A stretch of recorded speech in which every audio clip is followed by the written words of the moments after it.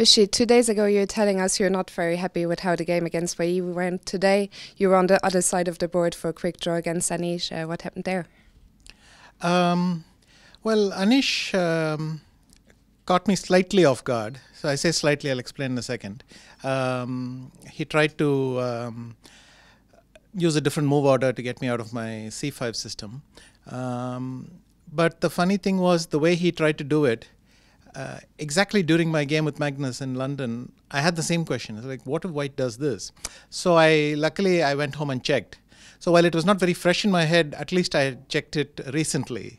Um, and in fact, it's, it's a quite a decent pawn sac. You just play bishop c64 with all these ideas, queen d5, a5, sometimes even h5. So black has the two bishops and quite a big initiative. Um, I mean, at home, it looks like black is fine, but uh, of course, at the board, uh, you need to know some details. But here also checked it, and uh, I think if you start playing, it can be more dangerous for white than for black because easier for white to miss something. Um, I thought king d7 was accurate, but um, maybe Anish is right that I could just take on c3 and castle long.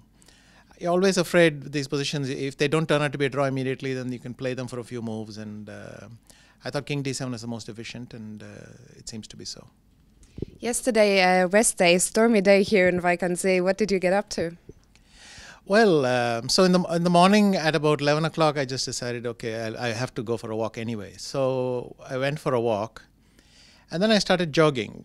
Um, but basically, wind propelled jogging. So at some point, I was just propelled forward, and uh, but surprisingly, once um, I got past the roundabout.